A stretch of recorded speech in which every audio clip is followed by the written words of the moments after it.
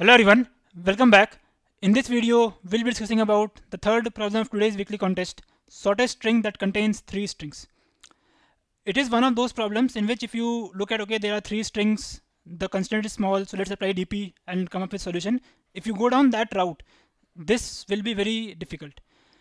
Instead, if you start with the basic, you will start with brute force and see, okay, if needed, you will optimize. That path, if you take that path initially, you will be able to solve this in much easier and quicker manner. So with that, let's get started. The problem states that you are given three strings ABC and your task is to find another string that has minimum length and contains all the three strings as substrings. And if there are multiple such strings, you have to return the lexicographically smallest one. So for example, let's say there are three strings is ABC, BCA and AAA. Your task is to come up with a string that contains ABC, BCA, AAA as substrings. So one such one such string is AAA, BCA. You can see it contains all the three strings as substrings. For example, it has AAA, it has ABC, and it has BCA as well. So you can try other combinations and you will see you will be not be able to come up with another string which is lexicographically smaller than this and still contains all the three substrings. And hence this is the result for this particular uh, given three strings. So hope the problem statement is clear. Now think of how you will apply brute force. So we have these three strings and we have to make a resultant string which contains all these three strings as substrings. Now does it make sense like to waste any characters here?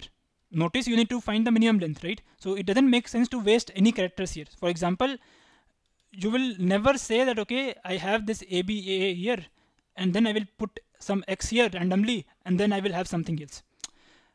Because you want your string length to be minimum possible you will not waste anything at all. So in naive way what you can say okay I will pick that uh, I will first pick the first string I will then pick the second string and then I will pick the third string so that is still good. That might not be the optimal solution, but that is still good because you're, you are not wasting any characters, right? Now, because you are not wasting anything, can we say that the prefix will always be one of these? The answer is yes, right? Because you are not wasting anything. It means you have put at least one of A or B or C in, in front, right? And because you are not wasting anything, you will have either B afterwards or C afterwards. So basically either you will have first A and then some B and then some C or you will have okay first B and then A and C. Basically all the possible permutations right? So let's say you fix one permutation ABC you are saying that okay I will be forming a string that will contain first A as substring and then it will contain B as substring and then it will contain C as substring. So can you find the optimal string which have this permutation? I would strongly encourage you to pause and try to think of this particular problem by yourself. Basically, you are trying to find a string that has first A and that has then B as substring. So what would be B? So B is BAB, right? So in this case, there are three possible conditions. So either you will put BAB afterwards, right? Or you will say, okay, BAB might be already existing here. So let's, uh, for simplicity, let's assume that this is BAA, right? So in that case, you can see BAA already exists here. So in that case, you will not be appending anything at all because you want minimum length. And if BAA already exists, that's the best thing that you can have, right? So this is second case and third case can be, okay, I will have some overlap. For example, let's say this is A, B, just for example. So in that case, you can see AA is already existing. Now you can simply append one B and in this case, this AAB would then uh, be a substring which will complete B as well. So hope you get the intuition. Basically, what we are trying here is after picking the first string, we will start fitting the second string in this first string. three condition can happen. Either this second string will fit completely here. In that case, all good. You don't need to you don't need to do anything. You will just move forward with the third string. Or it can fit at some suffix. So it can like some suffix of this string will share some prefix of this. So in that case, you will just append the remaining part of the string. And the third case can be it will not overlap at all. And in that case, you will have to put BAB completely here, right? So based on these three strings, uh, th these three characters, you will choose one of these. So in this particular example, you can see BAB doesn't share, like doesn't come inside this at all. Neither it shares any prefix because if you say uh, it is a a something and this will be a something, so it doesn't share any prefix at all. So in that case, you have to put BAB completely, right? Now once you put B, you will do the exact same thing with C as well. So for C as well, you have BAC. You will try the three things again. You will say, okay, if BAAC completely fits inside the current string that I have. If yes, all good. We don't do anything. If it doesn't fit, I will see, okay, can I share some prefix? If yes, then I will share that and only append the ones that are not present and the third case if the if none of these are there then you will uh, simply uh, put the entire string so in this case as well you there is no common prefix because if you see this will not be this is not matching this is not matching not matching not matching this is matching ba but then there is a so this is also not matching this is not matching and this is matching. So basically you have just one common prefix that is good. So you will just append AAC afterwards. So this is the resultant string that you get. If you want to have the strings in this order in the very same fashion you will try adding the strings in all the permutation and whichever gives you the minimum possible string length that will be your answer right so let's just take one last example to make this a bit more clear let's say we want to have the permutation as BAC. So basically we will put this string first and then this string and then this string, right? So let's just uh, quickly iterate over it. Uh, now we have to put this string first. So with this string we'll simply put BAB, all good, right? Now we need to put this this one. So we will try sharing as much as we can. So can is it sharing three characters? No. Is it sharing two characters? Yes it is sharing so in that case you will put this here. In other words you will put you will just append a and a here right? Now comes c. So again you will take this. Let's get rid of this. You'll again see if it is completely matching. Is it matching? No. Matching? No. Matching yes. And just one character is remaining so you'll just simply append this c here. So this is the resultant string that you form. And if you uh, remember this string is much better than the previous string so you will uh, neglect the previous string and this will be your new answer. So you will keep on doing this for all possible permutation and whichever is the best that will be your answer. Now what will be the time complexity of this entire thing? What we are doing? We are we are iterating over each permutation and there are three strings. So the, in total there will be three factorial permutation right? Or in other words there will be six permutation.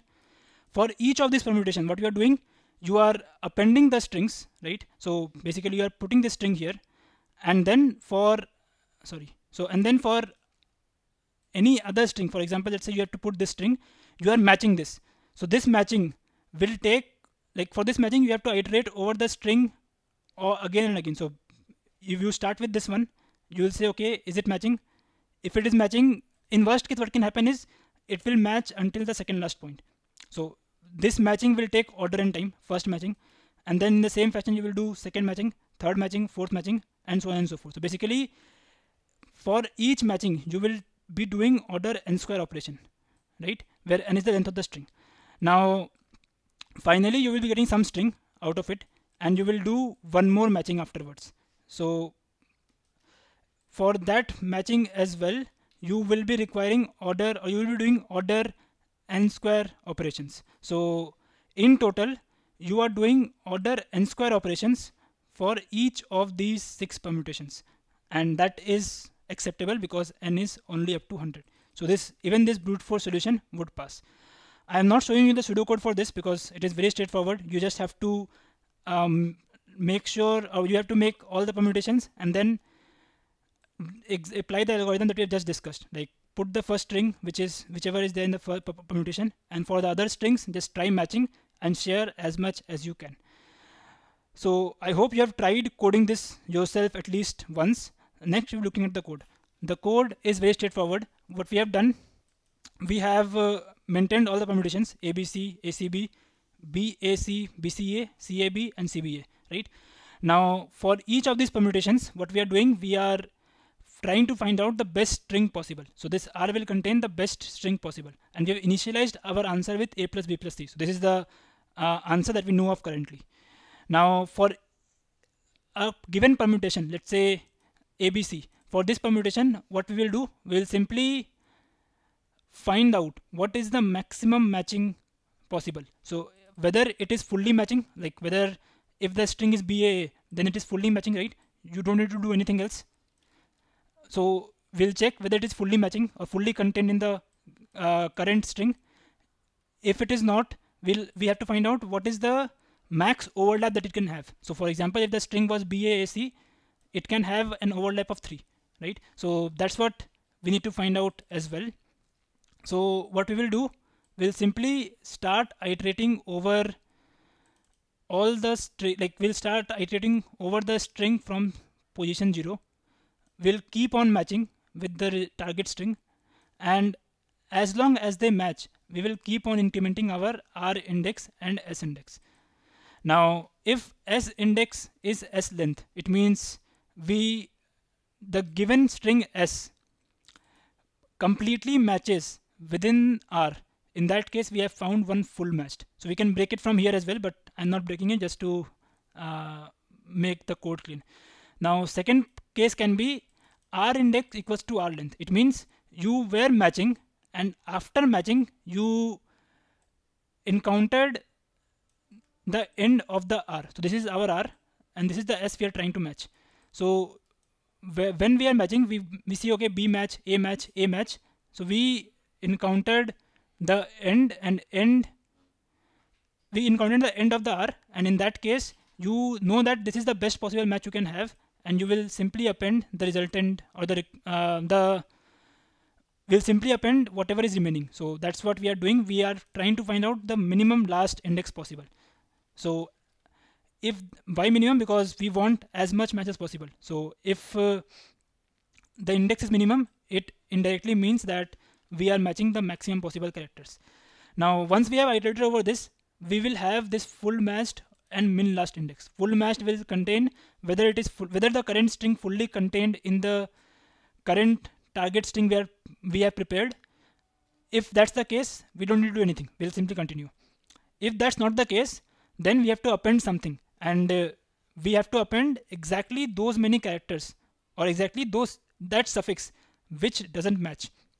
For example, in this case, if three characters match, we have to apply, we have to append everything after three characters in the S, right? So that's what we are doing. And notice that we have uh, uh, min last index is r dot length. So basically, in other words, this will be zero. If uh, none of this match, this will be zero. In a which will in turn mean that you will be appending everything, right? So hope this this loop is clear. Basically, after this loop, you will have r built out for a given permutation. Now once you have R built out, you will compare this R with the current answer you have. So if the length of R is equal, you will just take the lexicographically minimum one. If length is not equal, you will check which have the smaller length. Whichever has the smaller length, you will you will just you will pick that up, right? So hope this entire solution makes sense. What we are doing again, we have this n square logic here inside this. Uh, we have this uh, third loop as well, which is which can be considered as n cube, but uh, this can be done. Uh, this entire loop can be optimized by using uh, hashing or any kind of tree data structure. So I will leave that up to you to optimize this. That can be an interesting follow-up. So this entire thing will done in order n square into 6 or order n cube into 6. Both will pass because n is very small here.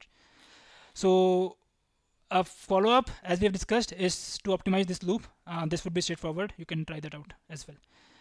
Um, so hope this entire solution makes sense. If you have any doubts in this problem feel free to post that in the comment section below. I would be happy to answer.